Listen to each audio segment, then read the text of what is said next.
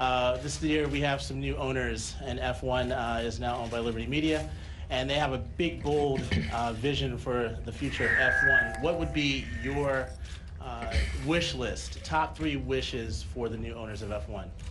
A race in Vegas. What else?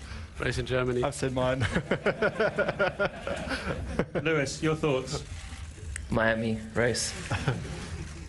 it's pretty a good so one. far. Yeah. Um, more ladies in the paddock.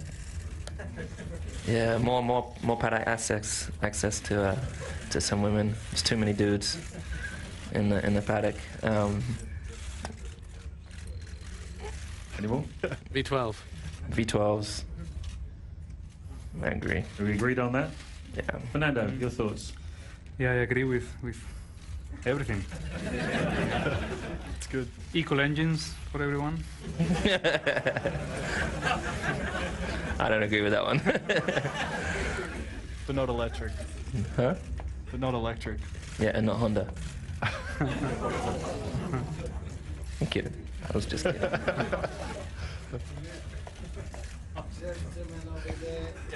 Oh, yep.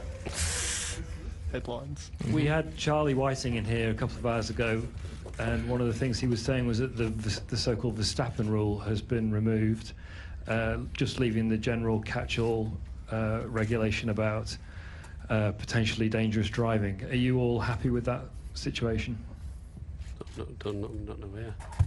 I'm not Yeah. I think we'll be told tomorrow. All right, you know everything before us. Yeah, let's see. I mean, I, I think we can. The good part of it is that it means less uh,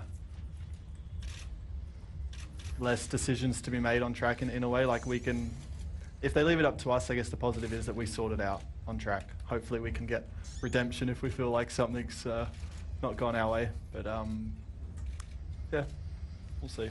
I like being able to race. I mean, that's that's the positive from it. Just uh, I think we get got my to do it with respect. from Mexico. Uh, yeah, I guess he wants his trophy back from Mexico then. So that was a pretty small one actually.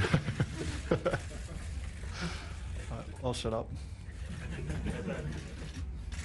Okay.